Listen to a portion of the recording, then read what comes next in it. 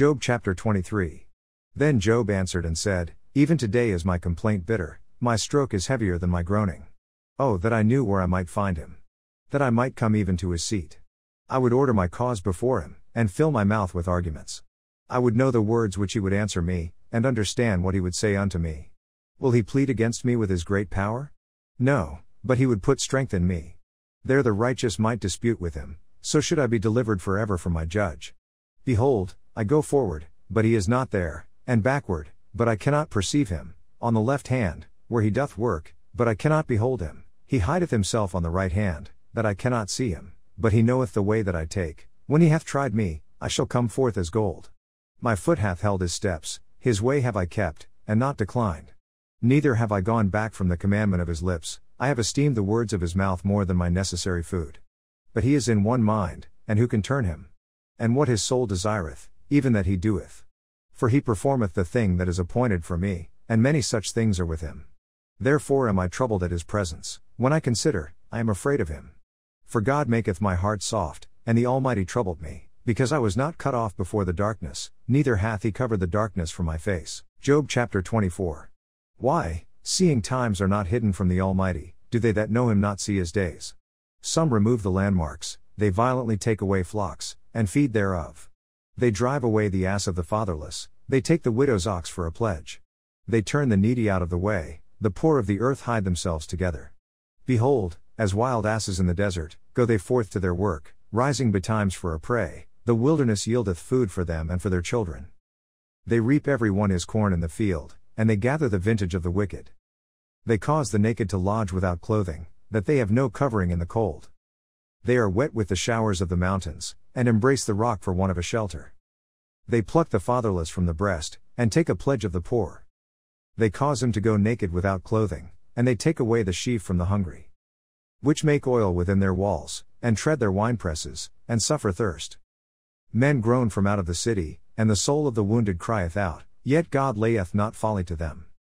They are of those that rebel against the light, they know not the ways thereof, nor abide in the paths thereof. The murderer rising with the light killeth the poor and needy, and in the night is as a thief. The eye also of the adulterer waiteth for the twilight, saying, No eye shall see me, and disguiseth his face. In the dark they dig through houses, which they had marked for themselves in the daytime, they know not the light. For the morning is to them even as the shadow of death, if one know them, they are in the terrors of the shadow of death. He is swift as the waters, their portion is cursed in the earth, he beholdeth not the way of the vineyards. Drought and heat consume the snow waters, so doth the grave those which have sinned. The womb shall forget him, the worm shall feed sweetly on him, he shall be no more remembered, and wickedness shall be broken as a tree. He evil entreateth the barren that beareth not, and doeth not good to the widow. He draweth also the mighty with his power, he riseth up, and no man is sure of life. Though it be given him to be in safety, whereon he resteth, yet his eyes are upon their ways. They are exalted for a little while, but are gone and brought low, they are taken out of the way as all other, and cut off as the tops of the ears of corn. And if it be not so now, who will make me a liar, and make my speech nothing worth? Job chapter 25. Then answered Bildad the Shuhite, and said, Dominion and fear are with him, he maketh peace in his high places. Is there any number of his armies? And upon whom doth not his light arise? How then can man be justified with God? Or how can he be clean that is born of a woman? Behold even to the moon, and it shineth not, Yea, the stars are not pure in his sight. How much less man, that is a worm. And the Son of Man, which is a worm. Job chapter 26. But Job answered and said, How hast thou helped him that is without power? How savest thou the arm that hath no strength? How hast thou counseled him that hath no wisdom? And how hast thou plentifully declared the thing as it is? To whom hast thou uttered words? And whose spirit came from thee? Dead things are formed from under the waters, and the inhabitants thereof. Hell is naked before him, and destruction hath no covering. He stretcheth out the north over the empty place, and hangeth the earth upon nothing. He bindeth up the waters in his thick clouds, and the cloud is not rent under them. He holdeth back the face of his throne, and spreadeth his cloud upon it. He hath compassed the waters with bounds, until the day and night come to an end. The pillars of heaven tremble and are astonished at his reproof. He divideth the sea with his power, and by his understanding he smiteth through the proud. By his Spirit he hath garnished the heavens, his hand hath formed the crooked serpent. Lo, these are parts of his ways, but how little a portion is heard of him. but the thunder of his power who can understand? Job chapter 27.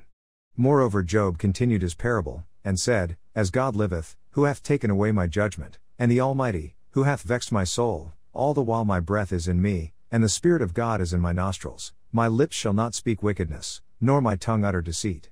God forbid that I should justify you, till I die I will not remove mine integrity from me.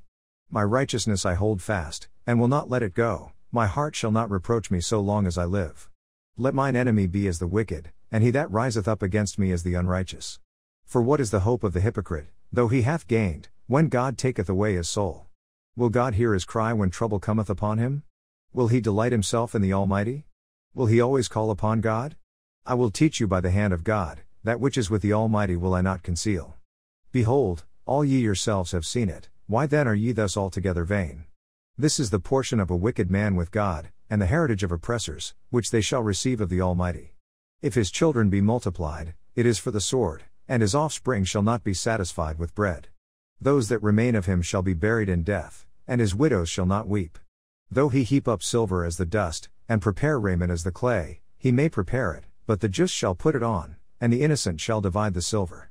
He buildeth his house as a moth, and as a booth that the keeper maketh. The rich man shall lie down, but he shall not be gathered, he openeth his eyes, and he is not. Terrors take hold on him as waters, a tempest stealeth him away in the night.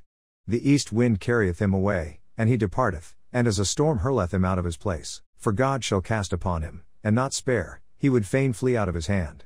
Men shall clap their hands at him, and shall hiss him out of his place. 2 Corinthians chapter 1 verses 12 through 24.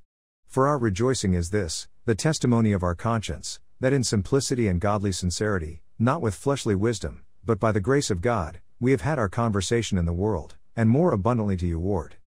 For we write none other things unto you, than what ye read or acknowledge, and I trust ye shall acknowledge even to the end. As also ye have acknowledged us in part, that we are your rejoicing, even as ye also are ours in the day of the Lord Jesus. And in this confidence I was minded to come unto you before, that ye might have a second benefit. And to pass by you into Macedonia, and to come again out of Macedonia unto you, and of you to be brought on my way toward Judea. When I therefore was thus minded, did I use lightness? Or the things that I purpose, do I purpose according to the flesh, that with me there should be yea, yea, and nay, nay? But as God is true, our word toward you was not yea and nay. For the Son of God, Jesus Christ, who was preached among you by us, even by me and Silvanus and Timotheus, was not yea and nay, but in him was yea.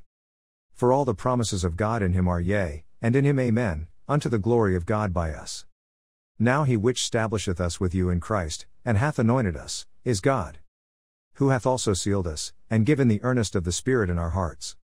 Moreover, I call God for a record upon my soul, that to spare you I came not as yet unto Corinth. Not for that we have dominion over your faith, but are helpers of your joy, for by faith ye stand. 2 Corinthians chapter 2 verses 1 through 11. But I determined this with myself, that I would not come again to you in heaviness. For if I make you sorry, who is he then that maketh me glad, but the same which is made sorry by me? And I wrote this same unto you, lest, when I came, I should have sorrow from them of whom I ought to rejoice, having confidence in you all, that my joy is the joy of you all. For out of much affliction and anguish of heart I wrote unto you with many tears, not that ye should be grieved, but that ye might know the love which I have more abundantly unto you. But if any have caused grief, he hath not grieved me, but in part, that I may not overcharge you all. Sufficient to such a man is this punishment, which was inflicted of many. So that contrariwise ye ought rather to forgive him, and comfort him, lest perhaps such a one should be swallowed up with overmuch sorrow. Wherefore I beseech you that ye would confirm your love toward him. For to this end also did I write, that I might know the proof of you, whether ye be obedient in all things. To whom ye forgive anything, I forgive also, for if I forgave anything, to whom I forgave it, for your sakes forgave I it in the person of Christ lest Satan should get an advantage of us, for we are not ignorant of his devices. Psalms chapter 41. Blessed is he that considereth the poor, the Lord will deliver him in time of trouble. The Lord will preserve him, and keep him alive, and he shall be blessed upon the earth, and thou wilt not deliver him unto the will of his enemies. The Lord will strengthen him upon the bed of languishing, thou wilt make all his bed in his sickness. I said, Lord, be merciful unto me, heal my soul, for I have sinned against thee. Mine enemies speak evil of me, when shall he die, and his name perish? And if he come to see me, he speaketh vanity, his heart gathereth iniquity to itself, when he goeth abroad, he telleth it. All that hate me whisper together against me, against me do they devise my hurt. An evil disease, say they, cleaveth fast unto him, and now that he lieth he shall rise up no more. Yea, mine own familiar friend, in whom I trusted, which did eat of my bread, hath lifted up his heel against me. But thou, O Lord, be merciful unto me, and raise me up, that I may requite them. By this I know that thou favorest me, because mine enemy doth not triumph over me. And as for me, thou upholdest me in mine integrity, and settest me before thy face for ever. Blessed be the Lord God of Israel from everlasting, and to everlasting. Amen, and Amen. Proverbs chapter 22 verses 5 through 6. Thorns and snares are in the way of the froward, he that doth keep his soul shall be far from them. Train up a child in the way he should go, and when he is old, he will not depart from it.